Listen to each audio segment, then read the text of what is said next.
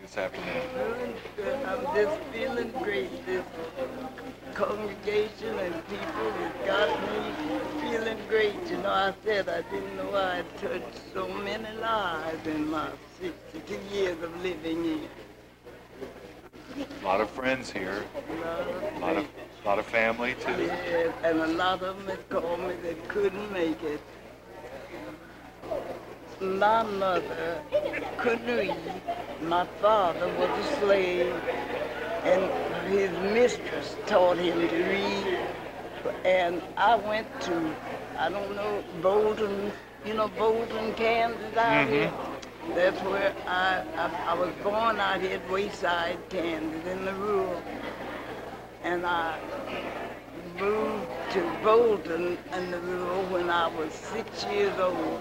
I went to, I started school at the age of seven and, and went to, from the first grade to the eighth. But when I got ready for high school, my father passed away and I had, I had to help my mother, you know, work and to help support herself and me.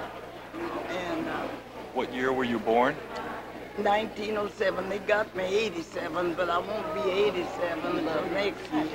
I'll be 86 next month, the 28th of February.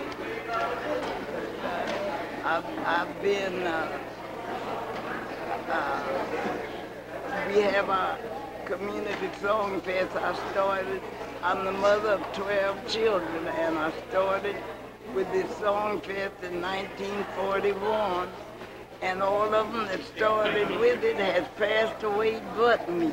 Oh. And I'm the only living person, and I've been over the Song Fest now for 52 years. And uh, I've been uh, in the, with, working with Reverend Murray and the senior citizens. And uh, I was president of that for eight years. Then after that, I've been secretary for 20 years, Mm-hmm. and I'm still secretary.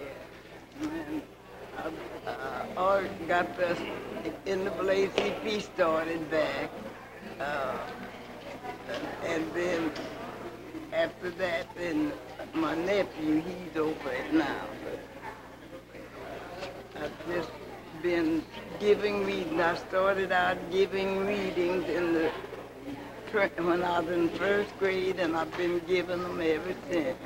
And uh, the Bolton School has given me my background in educational field. My oldest daughter taken me to the Holy Land. I've been to the Holy Land, baptized in the Jordan River Oh my goodness. and been to Bethlehem, Athens, Greece, and, and Rome, Italy, and been just all, all over. And I've, I've been active ever since I've been a chapel, my childhood. Mm-hmm. And things that I learned when I was in my teenage, I still remember. Really.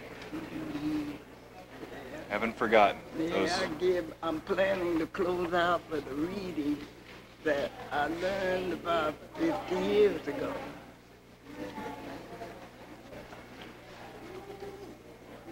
That's great. Congratulations.